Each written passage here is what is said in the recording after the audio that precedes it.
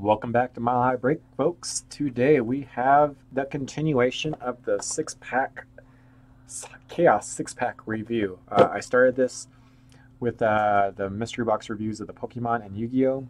The video started running a little long, and I thought, you know what, I'm just gonna go ahead and put the unpacking of these from the original video into its own video for the Magic people to, to watch.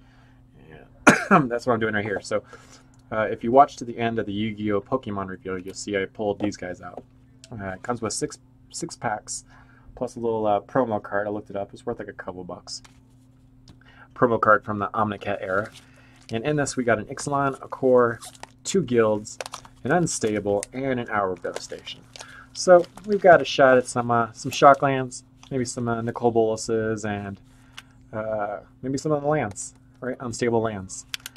So this is part of the mystery box things that you can find at Walmart and Target. And these cost, let me see, let me look at my receipt right now. I think is around 20 bucks. Uh, MTG, yeah, 1998. So 20 bucks, you get six packs of cards. Uh, those are the six packs of cards, as you can see. And, you know, to be honest, if I went online to try to buy all those six packs of cards, it would probably cost me more than 20 bucks.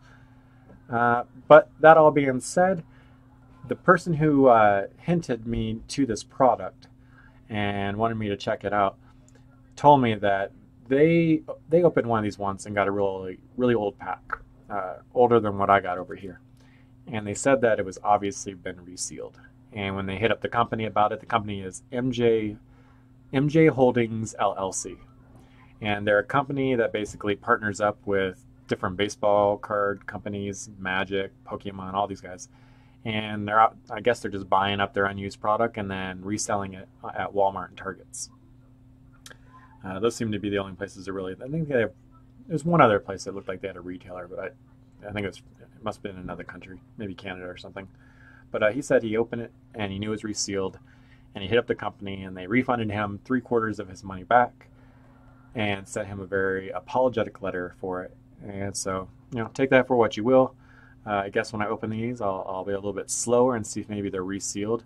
I doubt any of these uh, right here are going to be resealed, you know, from the standard sets. Uh, but we'll feel them, we'll check them out, and let's see what we get. Maybe we'll get lucky here. All right, let's sort these in level of interest for me. Uh, that, that looks about right. Ixalan's kind of boring. Maybe I'll find a Nicol Bolas. Maybe we'll find a couple shock lands. Maybe we'll find some more lands and then original Nicol Bolas. That's what we're up for. So check the pack out. Uh, it's real tight down here. You know, it doesn't feel like the card's been moved around at all. So, I mean, I don't feel like this is unsearch packed at all. At all.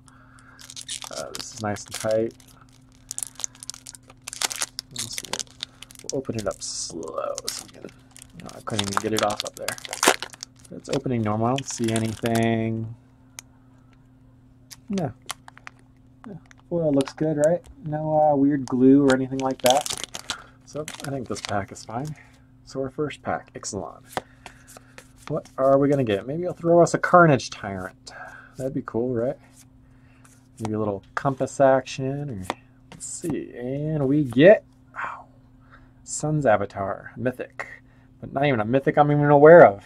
But hey, we pulled a Mythic from the Ixalan pack. So it is what it is. We'll take it. I won't snub my nose at a mythic. Low print. Maybe one day it'll catch fire. Alright. Pack number two. Oh, forgot to really. Oh, feels good. It felt good. It honestly feels good. Look, you know, that foil looks nice. No glue up there. It's all real tight. And don't care, don't care. We've got Herald into a Scepter. Yeah. Nothing there. Nothing there. Nothing in the core. No Nicolo. Nicobolus.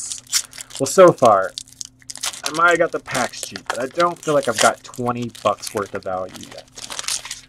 Uh, I think you guys would agree with that.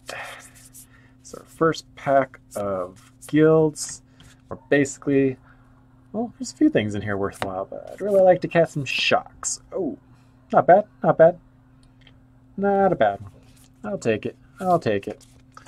What else you got for me? I want something better than that.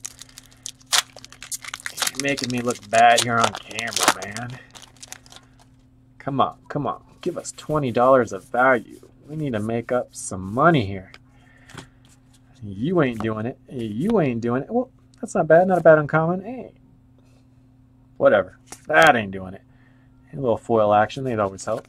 No lands. No lands in those. I feel like those are both buds. Duds. I feel like all the packs have been duds. This one feels good too. They're all real tight. Nothing feels tampered with in, in these, but to be honest, I didn't get really old packs, so let's see. Unstable. What do we got? We're to go through these a little slower. Some fun things on these cards. Let's check them out. Go to jail. when go to jail enters the battlefield, exile target creature and opponent controls until go to jail enters the. That's funny. Some very interesting looking cards, huh? From a different time. I bet they had fun creating these guys. Extremely slow zombie. and clever combo. Are uncommon and 2A monster masher. Yeah. And there we go. Unstable Swampland. Nice looking card. Refibrillator. Whenever you crank Refibrillator, return target creature from your graveyard to your hand. Nice. Cool looking card. Oh, and I dropped it, of course. Hey, widget contraption. Neat. These are cool looking. A little foil token. Alright, that was a fun little pack. Haven't seen those cards in a long, long time. So, our devastation feels good.